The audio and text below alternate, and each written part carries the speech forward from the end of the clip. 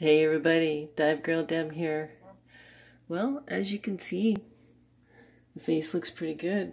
I mean, I can I have just a little bit of redness right around this whole area here, but the venom just really went straight in. I could feel it all through that area working. So, um, I had a couple of bees that died. That's okay, that happens sometimes. Um, so I've got two left, but I really want to What's really neat is I don't have any really pain now.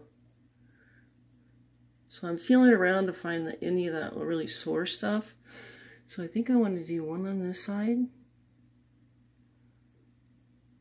There we go. And then I want to do one up over in here because I still have pain in this area. Okay.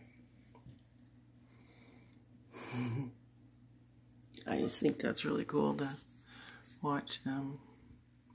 There, that's a better way to film it.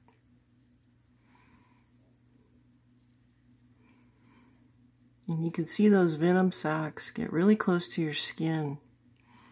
Really um, suck up close. And they're just pumping venom in. You can feel it running down into my gums, which is great. It's pretty cool. Um, yeah, I can feel it running up into my sinus cavity now and down all through this area. I can feel it migrating. So there's a little war going on inside of there right now, which is that venom. And that the darn stuff just works. It's so amazing. Um, if you want to learn more about this, my nonprofit agency, we teach this. And we love to teach people how to use venom in a multitude of ways, just like this. Um, it really does work. So, you know, give us a call. Dive Girl Deb, the Flippin' Lyme Foundation. We're going to follow me up here and see what's going on. But I can tell you that yesterday afternoon I took a nap and laid down on this side. Um, didn't hurt. I've not used any ice on it.